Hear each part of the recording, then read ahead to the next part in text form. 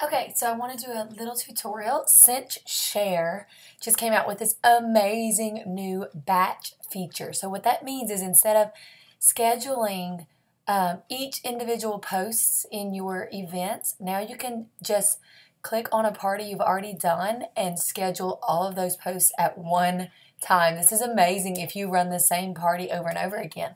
Um, and so let me show you how to do that. So if you log in, um, and you come to your uh, like previous post page, which is this little icon here, uh, manage posts is what it's called actually. You can see all of these posts that I've had going out in different parties. Um, so I want to simplify this and just look at one party, like maybe one of the last parties I just did, which um, was an event and it was this one. So I'll look at that one. It's my, my last party that, oh, I'm sorry. I'm not going to look at that one because that one's ongoing. So the things haven't posted yet. so let me look at one that's completely finished. Um, this one is. So these are all the posts that I posted in this party. And the cool thing is, is that it keeps the dates and the times that you posted them, and it will keep the same interval. So if you open a party and you want to go ahead and schedule the whole party for that next, you know, five days, that's about how long my parties usually stay open uh, four or five days, um, then you can go ahead and just hit batch post when we get done, and it will keep the exact same intervals that you had in your last party. So it'll post at those same um, times. So it's really pretty cool. So since I have all these posts, I'm going to go ahead and, and check the ones that I want. And in this case, I want all of these posts. And after I do that, all right, I'm going to come over here to the right side of the screen and hit this little uh, these little three lines and you can click batch post. Now, it's going to ask you where you want those to post to. I want it to post to this party right here. And this party is going to start today on the 14th and her actual party night is on the 18th. So you can see that is four days out. So I should be able to keep my same intervals, but you get a chance to kind of fine tune it in just a minute. So I'm going to say keep interval because I kind of want to keep my same intervals that I had. If I were like late opening this party or maybe a hostess wanted a whole week party instead of just four or five days, I would say new interval and I, it would let me um, tweak these. So let me let me do that just to show you. So I'm going to say new interval. Um, and I could say maybe I wanted my posts, maybe I only had two days for this party. So I want them to post like every two hours. So I could say uh, two hours and then you would see when I hit apply interval, it would show you what times these are all going to post, and they would be two hours apart. And then you can adjust them as needed. I am not going to hit apply because I want to keep my intervals, and I don't want all that to get messed up right now.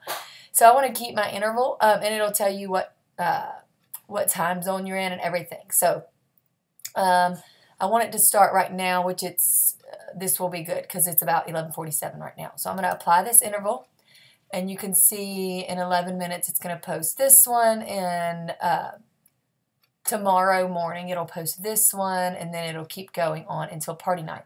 So let me make sure you see how I can fine tune things? Um, let me make sure that on party night I'm actually party day it's actually posting what I want it to. So you see this is the one that says we're partying tonight and that should be on the 18th early in the morning and you see it's on the 16th at night so I definitely want to change that. I want it, our party is on the 18th.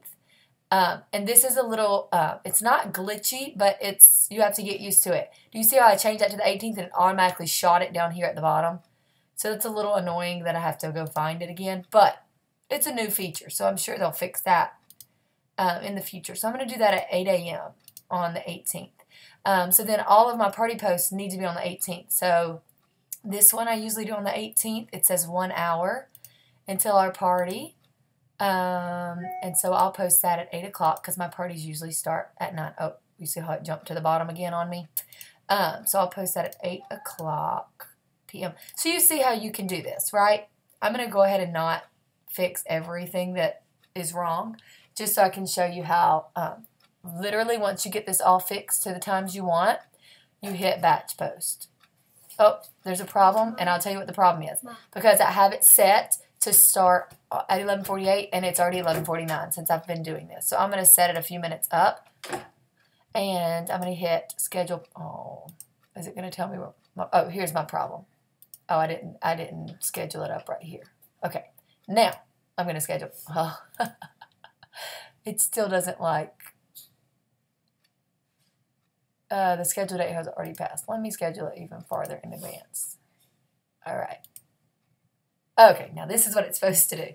Um, and if you go look at your scheduled posts and you want to filter it by that party I just did, you can see that they're all scheduled. And then in this, this looks very familiar. So you can click on it. Um, like some of these, I actually have their names in it, the hostess's name. So I would want to click on those and make sure um, I go to edit and I change it to uh, the right date or time or the hostess's name and that kind of thing. So don't forget to go back and change names. That's super embarrassing when you post the wrong hostess name in your parties. Not that I've ever done that. Um, so uh, please excuse my hoarse voice. I just got back from JamCon. There was a little bit of talking and yelling and networking going on. So um, if you have any questions, let me know. But hopefully this will help you use this new batch feature easily.